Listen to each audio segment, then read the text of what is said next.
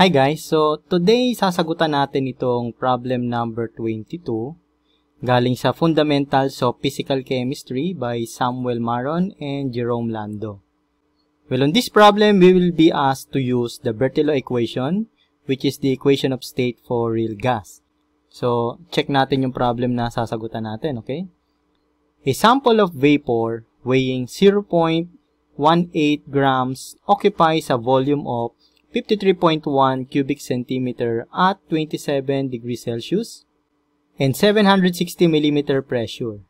The critical pressure of the vapor is 47.7 atmosphere, while the critical temperature is 288.5 degrees Celsius. By the use of the Berthelot equation, calculate the molecular weight of the vapor and compare the result with the calculated by the ideal gas law.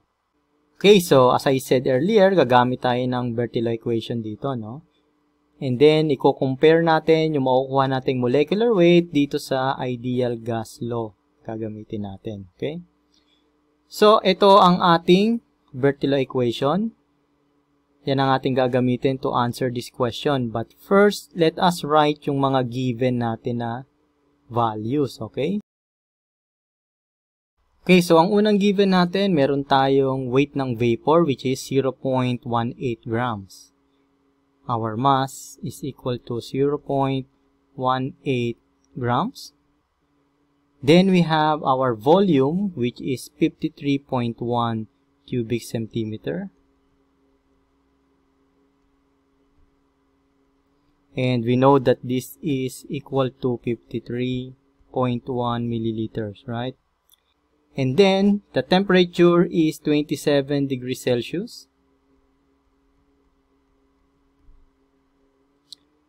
And our pressure is 760 millimeter, where this is in millimeter mercury. So we have 760 millimeter mercury, which we know this is equal to 1 atmosphere.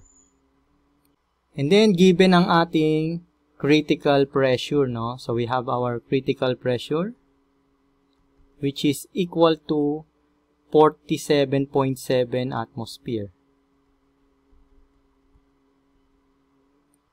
And then, ang ating critical temperature is 288.5 degrees Celsius. Okay, so, let's start solving our problem. So, gagamitin natin ang ating Berthelot equation, no? So, first, dahil ang pinapahanap sa atin is molecular weight, so we have to substitute that dito sa ating equation ng Berthelot equation. No? So, we know that molecular weight is equal to the mass of the substance over the number of moles of the substance.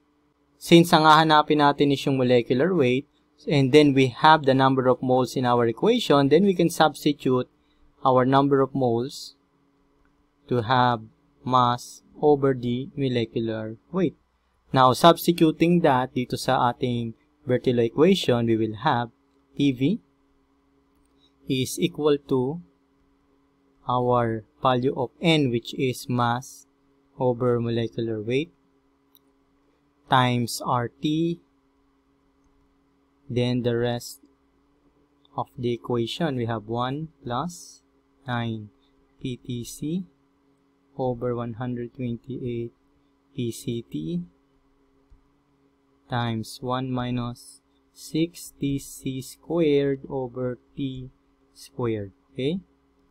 And then, since molecular weight ang kailangan natin kunin, we are going to isolate itong molecular weight natin dito. So, we will have molecular weight is equal to MRT over PV and then the rest of our formula okay?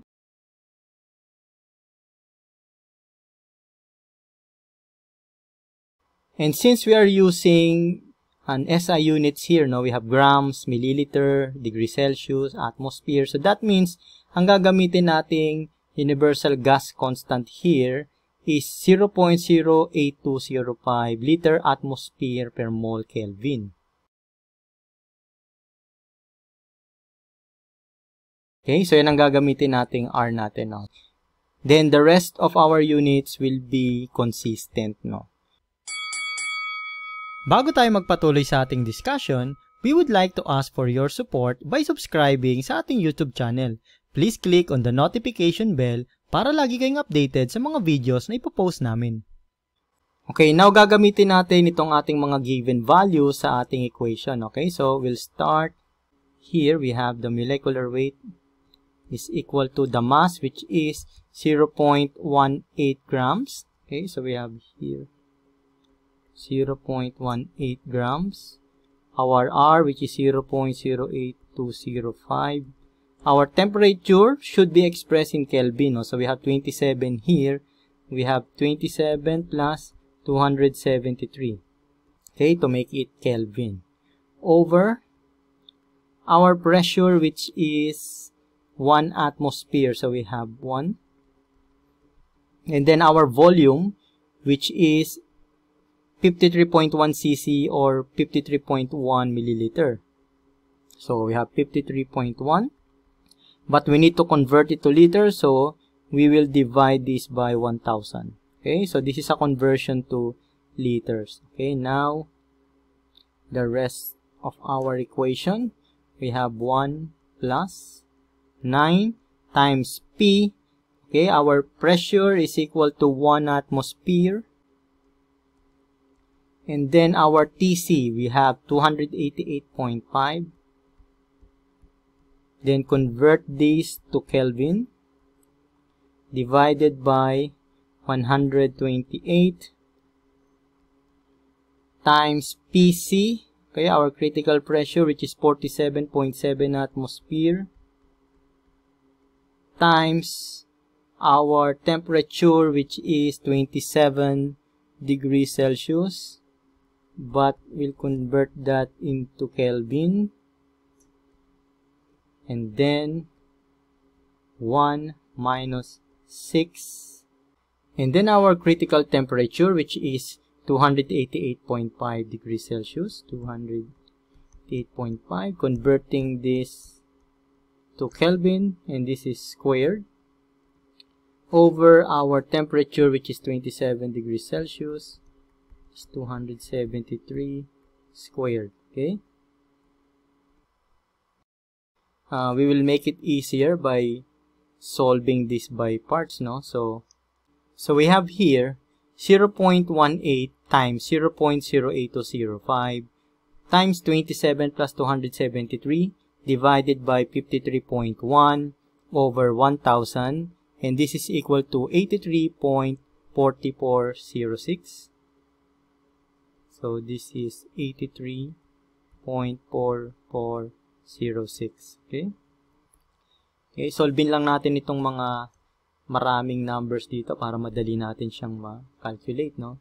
Then, we have here 9 times 1 times 288.5 plus 273 divided by 128 and divided by 47.7 and again by 27 plus 273 and this is equal to 0. 0.002759 0.002759 and then we have here 6 times 288.5 plus 273 squared over 27 plus 273 squared. And this is equal to 21.0188 Therefore, we will have here molecular weight is equal to 83.4406 times 1 plus 0.002759 times 1 minus 21.0188. And then solving for this, yung nasa loob ng ating bracket, no?